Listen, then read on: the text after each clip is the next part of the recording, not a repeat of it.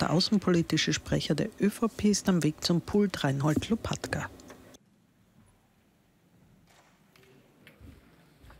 Herr Präsident, Herr Außenminister, meine sehr geehrten äh, Damen und Herren!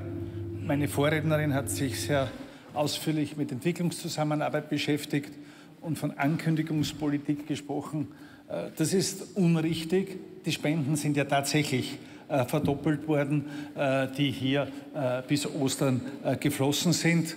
Und auch das Budget ist deutlich erhöht worden. Also das sollte man schon auch sehen und nicht alles schlecht reden, was von dieser Bundesregierung kommt, meine Damen und Herren. Ich möchte mich aber jetzt äh, mit einem Antrag beschäftigen, der auch unter diesem Tagesordnungspunkt diskutiert wird. Äh, da geht es um die Hisbollah, äh, die Partei äh, Gottes, wie sie sich nennt, entstanden 1982 als eine revolutionär schiitische, schiitische antiwestliche Organisation, auf deren Konto viele, viele Attentate gehen. Äh, die Hisbollah ist aber mehr als nur eine militärische Organisation, das muss man auch sehen, die Attentate verübt. Die Hisbollah ist auch eine politische Organisation mit einem großen sozialen Netzwerk, das auch andere terroristische Gruppen haben, äh, die ihnen dann oft auch einen notwendigen äh, Rückhalt geben, auch bei einfachen Menschen, die in Wirklichkeit mit Terror nichts zu tun haben wollen. So gesehen kontrolliert die Hisbollah in, im Libanon, wo die politischen Verhältnisse sehr äh, labil sind, äh, zum Beispiel im Süden von Beirut, weite Bereiche der, der Stadt, in der PKA-Ebene und auch im Süden äh, vom Libanon, direkt an der Grenze zu Israel, äh, ja, das tagtägliche Geschehen. Und äh, politisch läuft in diesem äh, zerrissenen Land, früher genannt auch die Schweiz dieser Region, politisch läuft hier nichts ohne die Hisbollah. Äh, das muss man sehen. Äh, die sind dort ein maßgeblicher Akteur.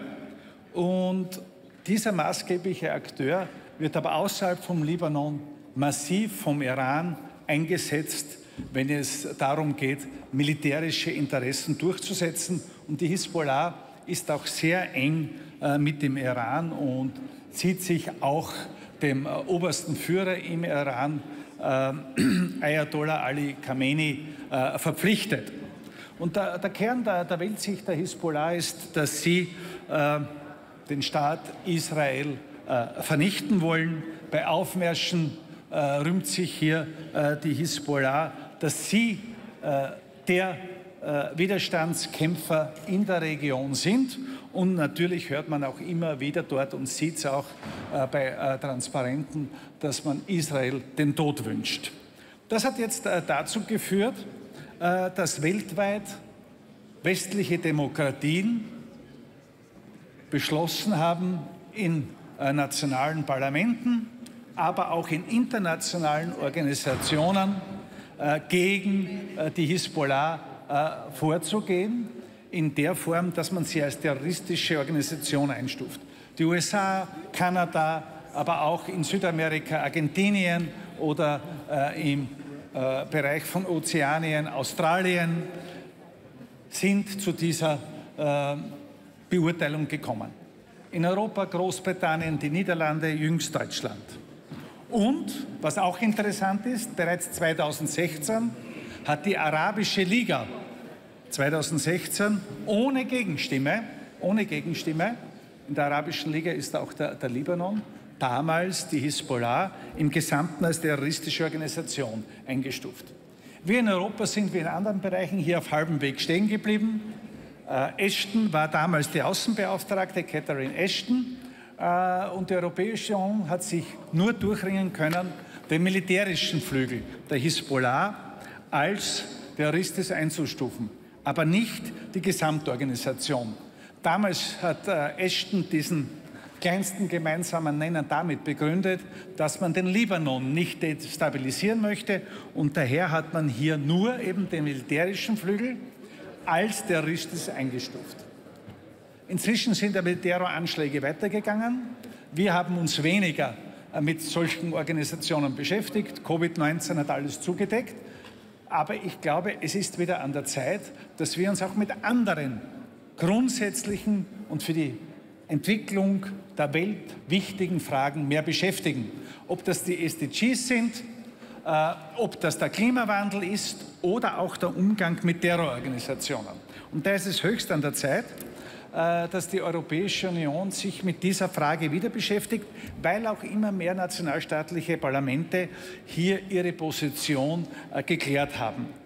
Und dass wir, und das ist so wichtig bei solchen Organisationen, äh, der Legendenbildung ein Ende setzen.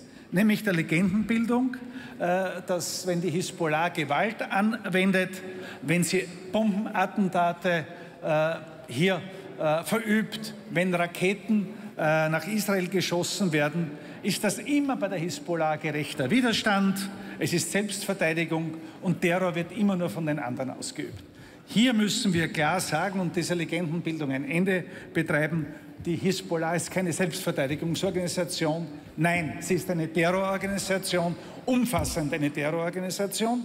Und das sollte auf europäischer Ebene passieren, denn damit nimmt man dieser Organisation auch das, was sie so bitter notwendig hat, nämlich politische Legitimität. Und das ist für mich das Entscheidende, wenn solche Verbote ausgesprochen werden, dass man hier klare Unterscheidungen damit trifft, ob etwas legitim ist oder nicht. Und Terror und Gewalt und Raketen können niemals legitim sein. Da ist es höchst an der Zeit, dass die Europäische Union hier zu einer klaren Sprachregelung kommt. Danke.